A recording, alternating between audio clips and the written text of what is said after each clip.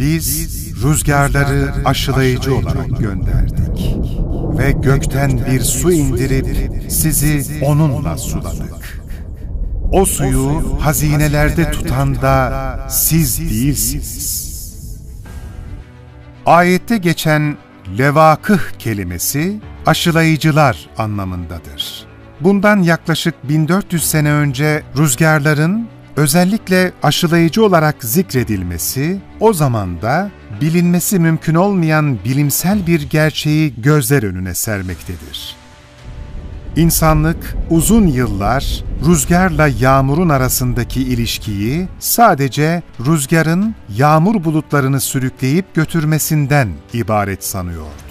Çağımızda bilim ve tekniğin gelişmesiyle yeryüzündeki fiziksel olaylar üzerinde yapılan araştırmalar gösterdi ki rüzgarla yağmur arasındaki ilişki sadece rüzgarın bulutları sürükleyip götürmesi değildi. Rüzgarlar tam da ayetin ifade ettiği gibi aşılayıcı bir fonksiyona sahipti ve yağmurun yağabilmesi için yağmur bulutlarını aşılamaktaydılar. Okyanusların, denizlerin ve diğer suların üzerinde köpüklenme nedeniyle aerosol adlı hava kabarcıkları oluşmaktadır. Bunlar rüzgarların karadan sürüklediği tozlarla karışarak atmosferin üst katmanlarına doğru havalanır. Rüzgarların yükselttiği bu parçacıklar su buharıyla birleşir ve su buharı bu parçacıkların etrafında yoğunlaşır. Bu parçacıklar olmazsa su buharı bulutu oluşturamaz. Bulutların oluşması, rüzgarların havada serbest şekilde bulunan su buharını taşıdıkları parçacıklarla aşılamalarıyla olmaktadır. Yani ayette bahsedildiği gibi rüzgarlar tam bir aşılama vazifesi görmekte ve gökyüzündeki su buharının yoğunlaşıp bulut olması için yoğunlaşma çekirdekleri denilen parçacıklarla aşılama yapıyordu. Bu hadise o kadar mühimdi ki eğer rüzgarlar bu aşılama vazifesini yapmasa dünyada yaşamdan bahsetmek mümkün olmayacaktı. Tabii işin en ilginç ve akılları hayrete düşüren yanıysa bu bilimsel gerçeğin bilim ve tekniğin olmadığı bir zamanda hem de okuma yazma bilmeyen bir insan tarafından mucizevi bir tarzda haber verilmesiydi. Şimdi soruyoruz.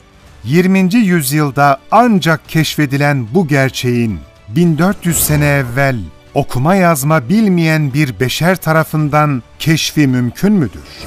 Elbette hayır.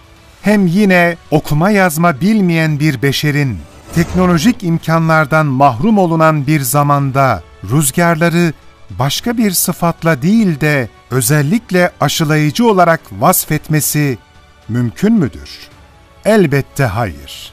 Bırakın bir beşeri, o zamanda yaşayan bütün beşeriyet bir araya gelse de yine böyle bir şeyi keşfetmesi ve rüzgarları aşılayıcı olarak vasfetmesi asla mümkün değildir. Zira o zaman öyle bir zamandı ki bir ineğin kuyruğuna bir demet çalı bağlayıp tutuşturulduğunda yağmurun yağacağına inanılıyordu. Gökyüzündeki su buharının yoğunlaşıp bulut olması için rüzgarların aerosol adlı hava kabarcıklarını karadan sürüklenen tozlarla karıştırarak atmosferin üst katmanlarında su buharıyla birleştirmek suretiyle aşılaması ve su buharının bu parçacıkların etrafında yoğunlaşarak bulutların oluşması gibi kimyasal gerçekler ancak bu asırdaki teknolojik imkanlarla yapılan araştırmalarla elde edilmiştir. Bu bilimsel gerçeğin böyle bir zamanda okuma yazma dahi bilmeyen bir beşer tarafından mucizevi bir şekilde haber verilmesi, o zatın Allah'ın elçisi ve elindeki kitabın Allah'ın kitabı olmasından başka ne ile izah edilebilir? Zaman ihtiyarladıkça Kur'an gençleşmekte, her yönüyle mucize olan bu ilahi kelamın birçok parlak mucizesi gözükmektedir.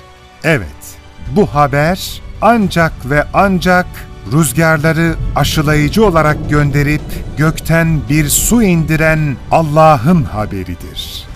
Bu haberi bize getiren zat da ancak Allah'ın elçisidir. İnandık ve tasdik ettik.''